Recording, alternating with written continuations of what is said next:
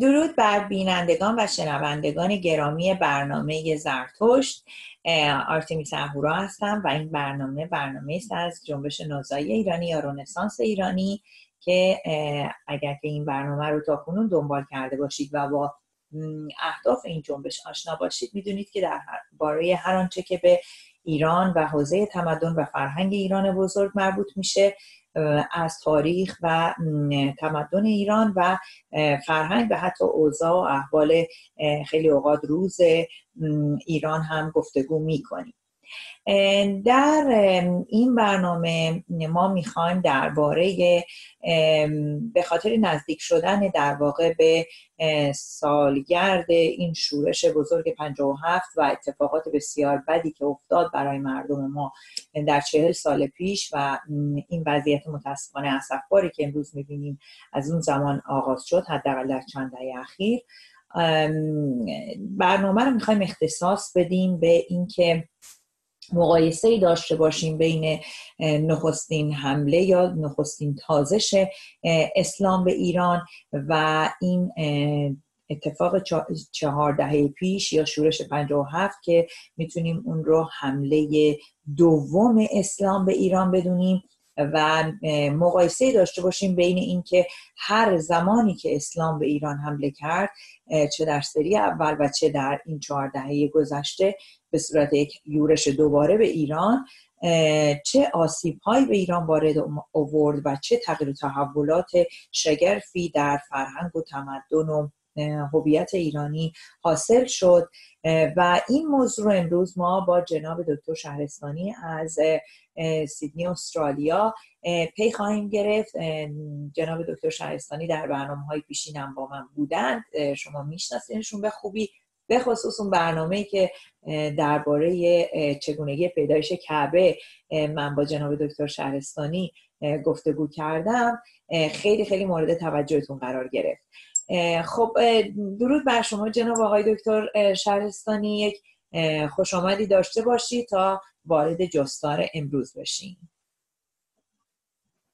بانو آرتمیس گرامی درود بر شما و تمامی همتواران و همزبانان و همچنین درود به همه همیهنانم در سر و سر گیتی و بینندگان برنامه برجاوندشون به ویژه اونهایی که در سرزمین اهوراییمون ایران بیننده این برنامه هستند بسیار شادمانم که بار دیگر مهمان برنامه ارزشمند شما هستم و آرزو می‌کنم بتونم دقایق قرباری رو به بینندگان ارجمندتون پیشکش کنم. پیش از اینکه بخوایم وارد موضوع بشیم پروانه بدید مراتب همدردی خودم رو و هموندانمون رو در جنبش رونسانس نوزایی ایرانی بشوند در دست دادن یکی از بهترین برنامه سازان تلویزیون ملی فارس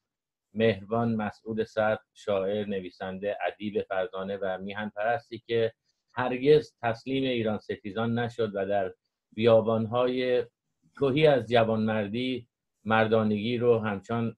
حفظ کرد و ایستاد و در اوج آسمان آبی که با سروده هایش ترسیم کرده بود راه جاودانگی رو پیمود و فرود نیامد تا با قلبی سرشار از مهر و عشق به میهنش پرواز خودش رو در بیکران تصورش در آسمان ها ادامه بده. او همانند نامش که صدر بود صدر مبارزین همپایه خودش درخشید و تا آخرین روز مانند سر سوهی پایدار و پاورجا موند و ایستادگی کرد در مقابل دشمنها. در واقع فقدان او رو می‌خوام به خانواده گرامیش و همچنین دوستدارانش آرامش باد بگم و شادی روانش رو آرزو کنم. سپاسگزارم آقای دکتر. خیلی نکته به جایی بود خیلی یادآوری به جای بود من و شاهین شخصا جناب آقای صد رو از نزدیک میشناختیم. البته خب شاهین خیلی از زودتر از من میشناختیشون و من پس از ازدواج با شاهین با ایشون هم آشنا شدم. و واقعا مانند یک دوست میشناخته میشون خیلی خیلی انسان با ارزشی بودن انسان بسیار خوبی بودن میهن پرست واقعی بودن و من شخصا از تمام اوقاتی که با ایشون گذروندم همزمان با روانشاد آقای آبتین ساسانفر.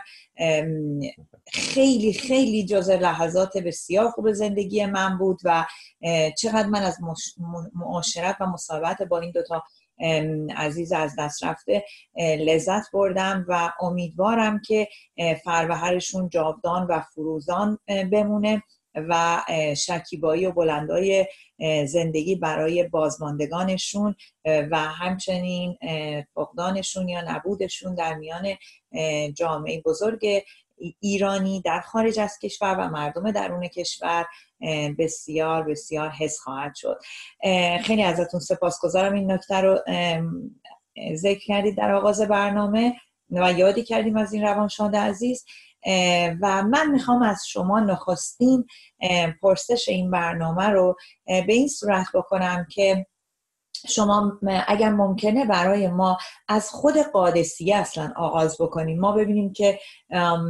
اصلا در همون زمان در نخستین در واقع تازش اسلام به ایران چه اتفاقی در ایران افتاد. و چگونه واقعه تازش تازیان به ایران تونست کل هویت و فرهنگ ایران رو دچار خدشه و آسیب و آزار و رنج و ستم بکنه و چگونه مردم ایران به اون زمان واکنش نشون دادن تا بعد هم خودتون اگر که مایل هستید جستار ادامه بدید و برسونید به آغاز انقلاب ایران که ببینیم که در سال 57 چه اتفاقی افتاد بسیار خوب. حمله اعراب به ایران یا فتح ایران به دست تازیان عرب مسلمان عبارت از مجموعه یورش هایی که در قرن هفتم میلادی علیه سرزمین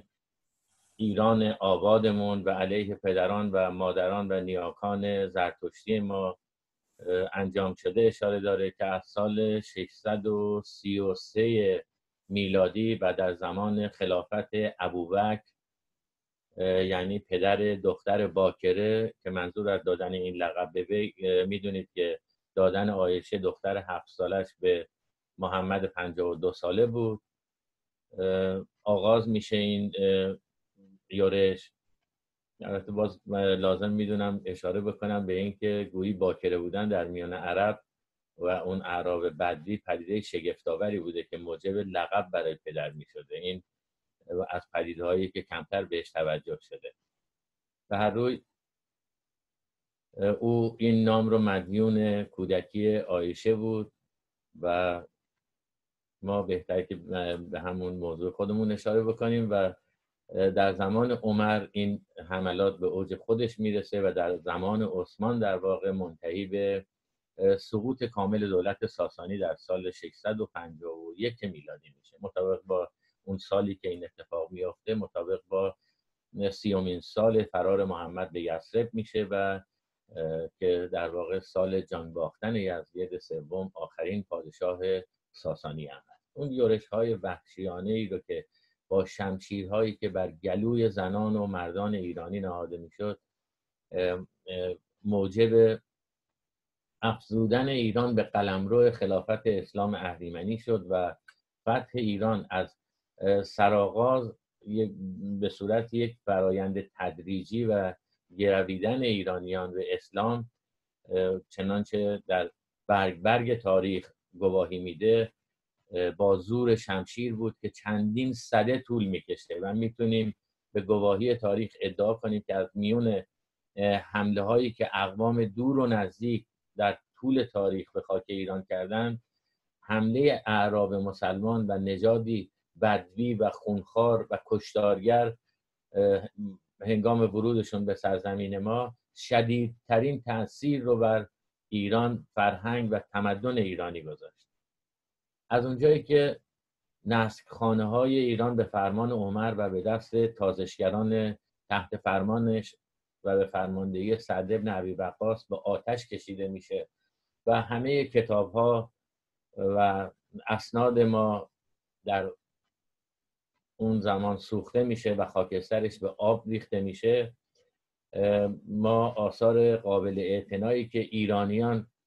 کسانی که پیش از اسلام درباره روابطشون با عرب نوشته باشند چیزی رو در دست نداریم که بتونیم به درستی به اون اشاره بکنیم. اون چه که موجوده روایت کسانی است که بعد از اسلام از اینجا و آنجا شنیده شده و نقل کرده. به همین خاطر در رابطه با روابط ایران و عرب و حوادثی که بعد از شکست ایرانیان و حکومت پادشاهی ساسانی و مرگ یزدگرد انجامی تحلیل ها تا اندازه زیادی می‌تونه یک جانبه باشه. قدیمی ترین منابع عربی موجود که به شرح یورش های تازیان و عرب مسلمان پرداخته کتاب فتوح البلدان بلازری است و همچنین اخبار و توال هم که دینبری نوشته دینبری مورخ ایرانیه که عربی نوشته این کتاب رو. تاریخ یعقوبی هست و تاریخ تبری هم که در شمار کتب قدیمی هستند به تاریخ ساسانیان اشاره داشتن و ما می‌تونیم از در واقع نگارش اونها به برخی از این مسائل دسترسی پیدا بکنیم. منابع دیگری رو هم می‌تونیم نام ببریم مثل فارسنامه ابن برقی که در اون هم به شکل عمده به تاریخ ایران و اسلام پرداخته. روی هم رفته میشه, میشه گفت که روایت ها و گزارش های تاریخی اینها تا از هر دو طرف در دست نباشه نمی‌تونیم یک به اصطلاح داوری درستی بر این موضوع داشته باشیم. اما اون چرا که ملت ما پدران ما به صورت زجر و شکنجه از اینها تحمل کردن و سینه به سینه به دست ما رسیده نشون میده که ظالمترین خونخوارترین و بیرحمترین انسانهای موجود در روی زمین اون زمان به کشور ما حمله می‌کنند و ضربات سنگینی رو بر پیکره امپراتوری که بخش بسیاریش در دو ناحیه ایران وارد جنگ بود و سربازانش در واقع درگیر دو جنگ از سوی ترکستان و روم بودن با روم ها می جنگیدن از فرصت استفاده می‌کنن و وارد ایران میشن و اون امپراتوری بزرگ رو در واقع بهش آسیب می‌زنن. همون هم که بیشتر اشاره کردم حجوم این اعراب یا یورش اینها چون به صورت مکتوب به دست ما نرسیده بیشتر این رخدادهایی که روی کاغذ آورده شده به یک شکلی می‌تونه نقلی باشه که طی فاصله های زیادی پس از اون از نقل قول دیگران گردآوری شده و جمع کردن. با این حال به بررسی بعضی از این منابع میشه پرداخت و از اونها میشه دریافت که هنگام یورش تازیان به ایران در جنگ قادسیه به ویژه جنگجویان ایرانی که شامل مردم غیر نظامی هم بودن اون زمان تعدادشون بیشتر از سپاهیان عرب بود و ایرانیان با شجاعت بسیاری زن و مرد در کنار هم جنگیدن تا بتونن در مقابل این قارتگران دوام بیارن. ولی از اونجایی که اینها گرسنه بودن و عادت عرب به دست آوردن روزی با شمشیر بود بر همیهنان ما غالب شدن. همون گونه که رویدادهای قادسیه سرنوشت پدران زرتشتی ما رو در ایران تغییر داد و متجاوزین عرب مسلمان با یورش خودشون تونستن ایران ساسانی رو به پادشاهیش پایان ببخشند و دوران شاهنشاهی کهنسال ساسانی رو از بین ببرند و خود رو وارد تمدن و فرهنگی غنی و بی سابقه بکنن. ما می‌بینیم که اسلامگرایان شیعه و حاکمان امروزی جمهوری اسلامی هم در سال 57 توانستند به عنوان مزدوران و نوکران قدرت های جهانی یک بار دیگر ایرانی رو که با روی کار آمدن خاندان ایرانساز پهلوی می‌رفت تا لکه های ننگ تاریخ سرزمینش رو که طی 1400 سال بعد تارک اون نشسته بود رو بزداید و از بین ببره دوباره مورد حجوم و اشغال بازماندگان تازیان عرب مسلمان قرار می‌گیره که اون رو قادسیه دوم می‌تونیم نام بگذاریم و اون چه از فرهنگ و تمدن غنی ایران در واقع بود رو دوباره به نابودی کشود و نشون داد که همون گونه که قادسیه نقطه برخورد فرهنگ اسلامی با تمدن ایرانی بود پدیده جمهوری اسلامی هم به دوران پرشکوه شاهنشاهی پهلوی خط پایان کشید تا خود رو بتونه وارث تمدنی غنی و فرهنگی غنیتر از تمدنش در واقع جایگزین بکنه. اگر درست کاملا جناب شهرستانی لازم به تذکر اینجا که دقیقا این نفس خود اسلام هست که با هر نوع آبادی و آبادگری و به اصطلاح سازندگی در ستیزه. این واقعیتی است که اصلا تعارف نداره. یعنی شما همین امروز در تمام جاهایی که اسمشون جهان اسلامه اگر نگاه بکنید این مسلمین عادت ندارن که یک سنگ بر سنگ بذارن. آبادگری اصلا در نفسشون وجود نداره. یک رخوتی یک تنبلی یک از زیر کار در روی یک از زیر مسئولیت در روی عجیبی در ذات این دین نهفته است که فقط می‌خواد هر آنچه آبادی هم وجود داره به دست خودش تخریب بکنه و انگار که نه تنها نمی‌خواد همسو و همراه بشه با آبادی در جهان بلکه من می‌تونم بگم که حتی آباد آبادسازی هایی که در هر جا وجود داره رو میاد کاملا با خاک یکسان می‌کنه. این اتفاقی که ما در 1400 سال پیش برای ایران ساسانی افتاد رو اگر نگاه بکنیم با مملکتی به اون ثروتمندی یک کشور بسیار غنی بسیار آباد بسیار ثروتمند که حتی ثروتش اگه بخوایم ایران اون زمان رو با یک مثلا کشور ثروتمند یا ابرقدرتی مانند آمریکای امروز مقایسه بکنیم حتی نمی‌تونیم مقایسه بکنیم. برای که امروز خیلی از ثروت هایی که در دنیا خیلی از آبادی هایی که در دنیا تولید میشه و ایجاد میشه به خاطر تکنولوژی بسیار زیادی که وجود داره ثروت به صورت نقدینگی نیست در هیچ جا. و حالا مثلا به صورت فرض کنید جاده در میاد یا هواپیما میشه یا تکنولوژی های دیگه. اما در ایران ساسانی اون زمان کاملا قابل فهمه که چگونه اعراب بدوی قبیله نشین بادی نشین کوچنشین به اصطلاح بی, هیچ چیز واقعا ثروت هنگفته به صورت طلا نقره به صورت آبادی هایی که تقریبا میشه بهش بیشتر بگیم کش یا نقد نقدینگی وحشتناکی که در ایران آن زمان وجود داشت و ثروتی که از سر و روی این مردم می‌رفت بالا کاملا قابل درک است که چگونه می‌تونن چشم بدوزن و طمع بکنن به اون ثروت بی اندازه و سهل الوصول. به خاطر اینکه